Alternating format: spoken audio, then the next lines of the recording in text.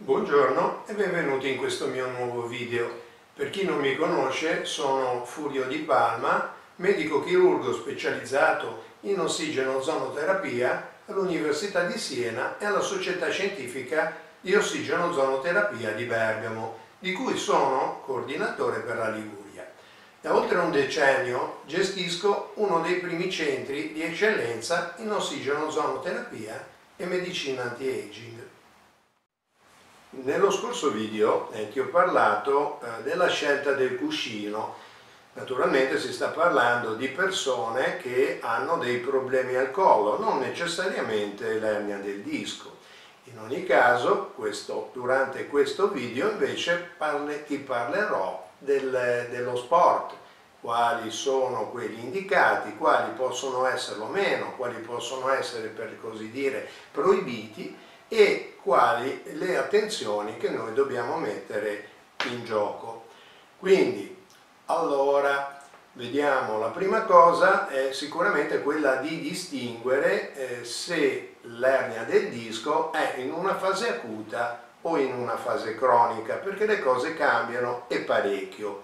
In che senso? Cioè nel senso che se si tratta di una cosa acuta, è logico che in questo momento il consiglio è quello di cercare di sospendere momentaneamente l'attività fisica perché quella, agendo quindi con uno stimolo su una zona che già è irritata ed infiammata, non fa altro che peggiorare e rendere ancora più tragica.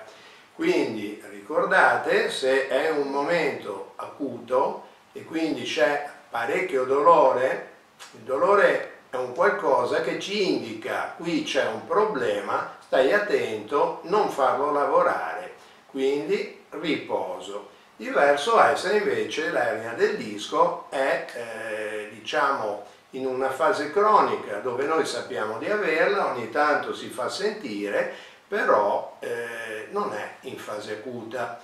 Quindi è, per così dire, importante per l'ernia del disco proprio fare anche dell'attività fisica. Perché? Perché avere una muscolatura tonica che quindi eh, protegge e tiene comunque nelle giuste posizioni e, e le nostre vertebre è sicuramente un aiuto. Quindi una muscolatura tonica è vivamente raccomandabile. Però è logico che bisogna stare attenti perché se gli equilibri vengono rotti, si fanno degli sport, dei movimenti che non debbono essere fatti, sicuramente anziché avere un effetto positivo potrà essere il contrario.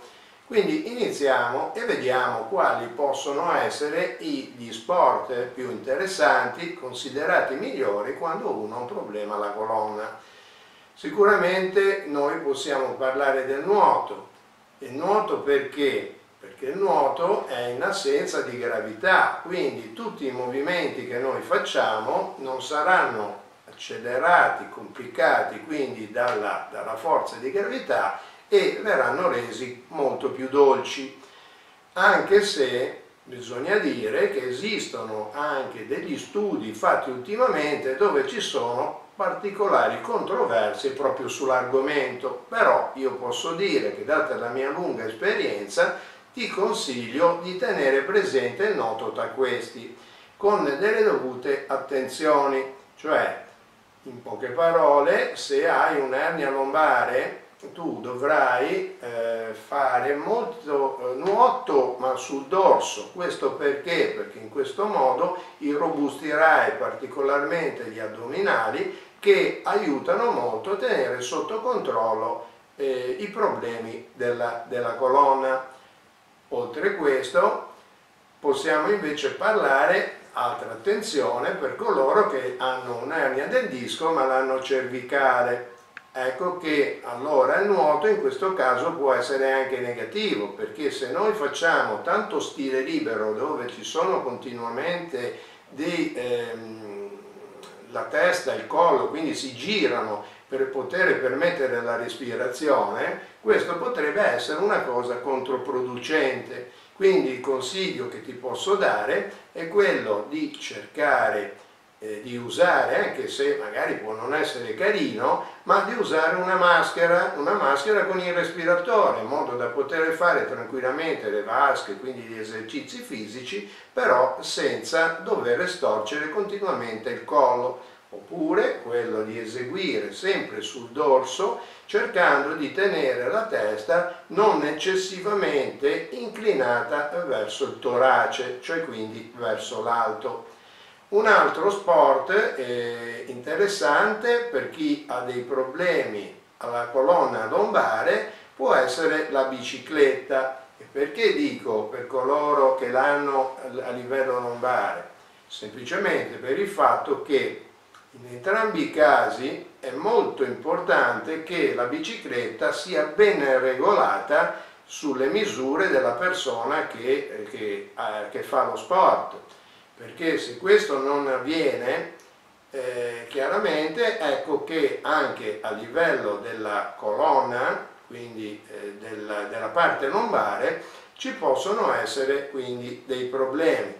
Quindi l'attenzione per quelli che hanno un problema lombare è quella di avere una bicicletta che sia regolata e con le misure giuste, che eh, quella di fare la bicicletta, cioè il ciclismo, in zone che siano o prive di buchi, ci siano pochi buchi, naturalmente è sconsigliabile fare la mountain bike proprio per i contraccolpi e i, i colpi che comunque vengono trasmessi alla colonna stessa.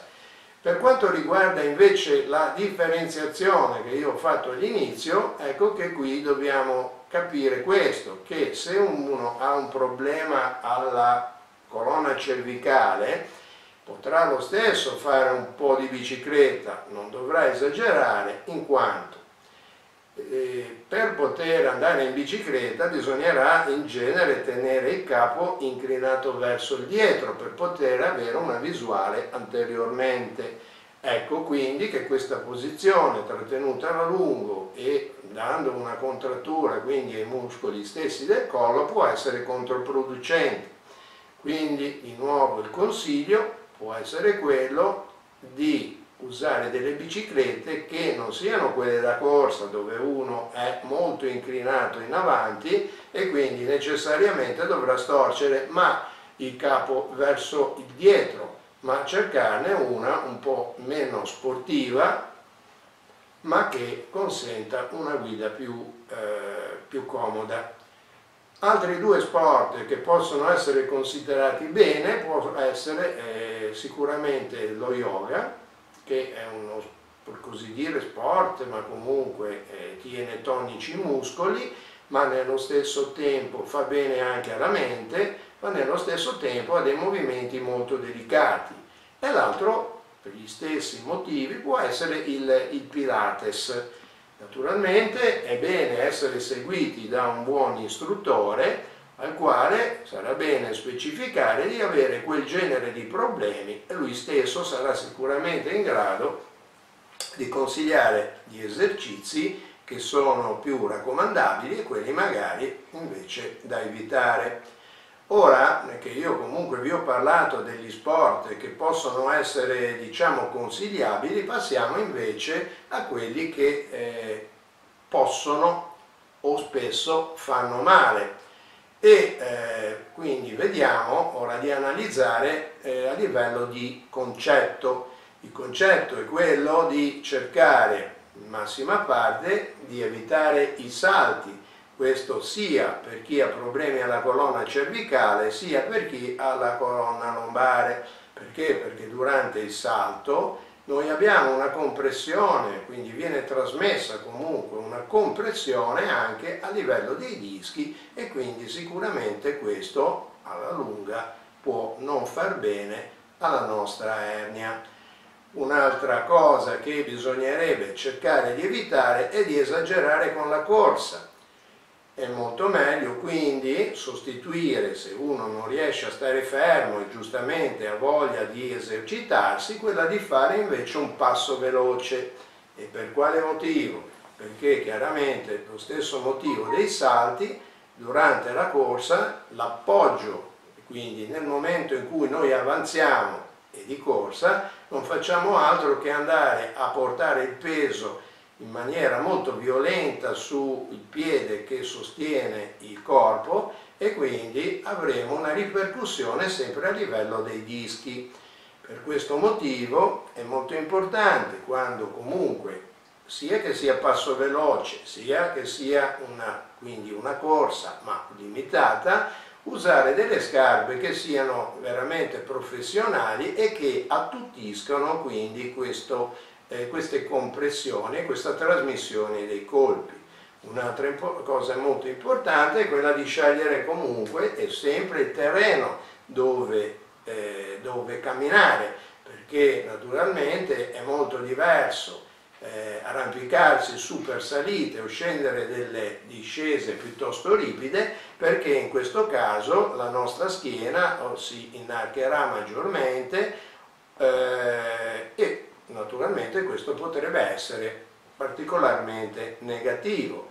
Lo stesso è se noi camminiamo su terreni che sono accidentati, pieni di buchette, di sassi, è chiaro che in alcuni momenti il nostro corpo può leggermente sbandare trasmettendo questo impatto anche alla schiena. Altra cosa che eh, andrebbe evitata sono gli sport che comportano un sovraccarico. E a questo mi riferisco quindi, ma non a tutti gli esercizi, eh, al, al, ehm, allo sport che viene praticato con i pesi che per lo stesso motivo è logico che se noi teniamo in mano dei pesi, abbiamo sopra le spalle eh, delle, dei dischi o cose quindi che comportano un aggravio di peso sui dischi, questo è nuovamente una cosa negativa. Lo stesso sono gli sport dove ci sono delle accelerazioni improvvise oppure ci sono degli inarcamenti o addirittura a volte sono, è facile ricevere quindi dei traumi e a questo mi posso riferire per esempio al tennis dove le accelerazioni possono essere piuttosto intense lo stesso anche il calcio dove c'è la corsa, dove ci sono i salti, dove ci sono i traumi e dove anche appunto e ci sono tutte le cose che bisognerebbe in quei momenti, con quei problemi, cercare nel possibile di evitare. Un altro eh, sport che eh, deve essere fatto con molta ma molta attenzione, quindi è raccomandabile scegliersene un altro se non c'è proprio quella enorme eh, passione, è quella del bodybuilding, perché naturalmente anche questo può, eh, per il motivo del sovraccarico, e il motivo anche delle eccessive a volte eh, compressioni ma eh, contratture, contrazioni meglio, contrazioni quindi dei muscoli fatti in maniera piuttosto potente possono loro stessi provocare una maggiore compressione dei dischi. Però eh, vi posso già dire che questo sarà eh, l'argomento del prossimo video perché io stesso sono stato appassionato per anni e vi voglio quindi consigliare il tipo di allenamento, il tipo di esercizi che è meglio praticare se proprio uno non riesce a stare lontano dalla sua passione. Se ti è piaciuto questo video e ti è stato utile puoi fare tre semplici cose. Primo, iscriviti al mio canale YouTube, così avrai la possibilità di conoscere in anteprima le novità scientifiche sull'argomento. Numero 2. Condividi questo video con i tuoi amici così puoi essere loro di aiuto. 3. Segui la mia pagina Facebook così interagisci direttamente con me. Per ulteriori informazioni visita il sito www.furiodipalma.it. Alla prossima!